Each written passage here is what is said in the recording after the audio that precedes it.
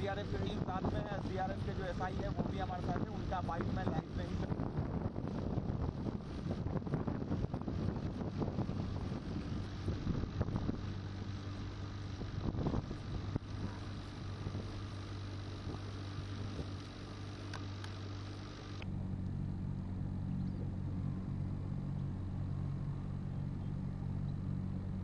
बहुत भयंकर हलचल हुआ था यहाँ पे जैसे लगा कि बहुत बड़ा ब्लास्ट हुआ है। जी। हम्म उसके बाद कुछ समय के बाद पता चला कि पुल पुल ध्वस्त हो गया।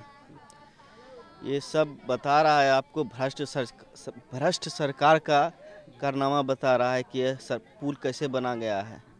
पहले भी एक बार इसके साथ घटना हो चुका है पुल टूट चुका है। फिर भी इस पे जो है ध्यान नहीं दिया गया।